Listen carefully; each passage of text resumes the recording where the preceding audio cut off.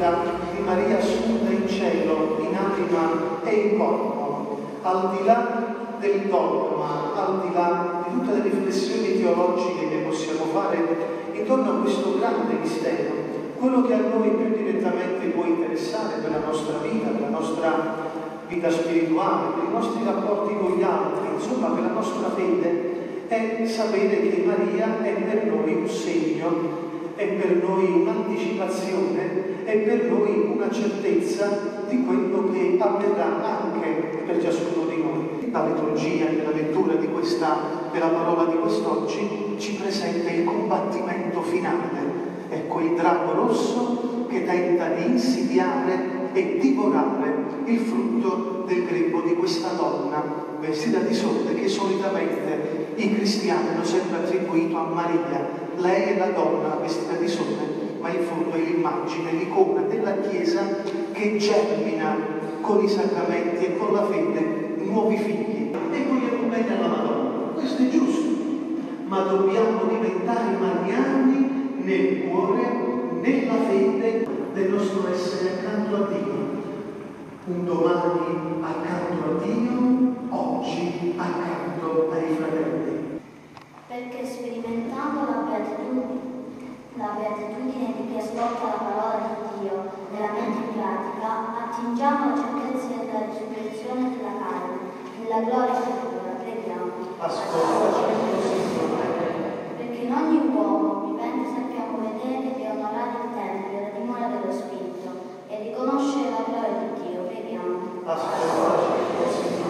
Perché nei detti, negli anziani e nei sofferenti, comunità di fede riconosca la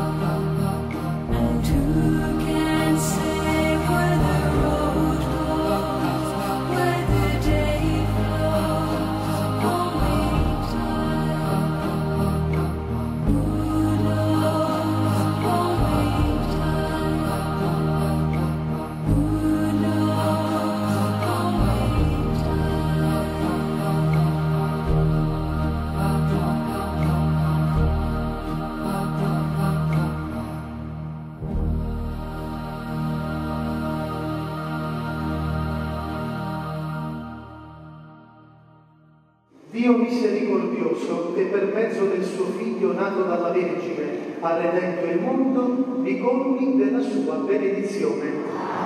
Dio vi protegga sempre per intercessione di Maria Vergine Madre che ha dato al mondo l'autore della vita. A tutti voi che celebrate con fede la festa della Madonna delle Grazie, conceda il Signore la salute del corpo e la consolazione dello Spirito. E la benedizione di Dio Onnipotente, Padre e Figlio e Spirito Santo, discenda su di voi e con voi rimanga sempre. Glorificate il Signore con la vostra vita, andate in pace.